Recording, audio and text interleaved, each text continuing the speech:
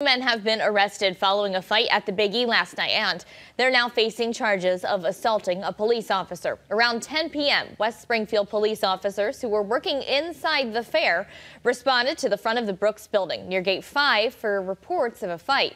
A man told police he'd been assaulted by another person, and officers found the suspect 20-year-old Davian Lopez, and while speaking to the police, he punched and pushed an officer in the chest. While Lopez was being arrested, a man from the crowd jumped on the arresting officer's back. That was 21-year-old London Jefferson of Springfield.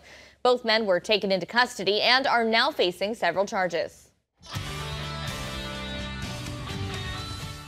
Another mostly cloudy day here across western Mass. We do have some much needed rain on the way, thank goodness. It has been about 16 days since we've had any kind of measurable precipitation here across western Mass, and that specifically coming in from Barnes at Westover.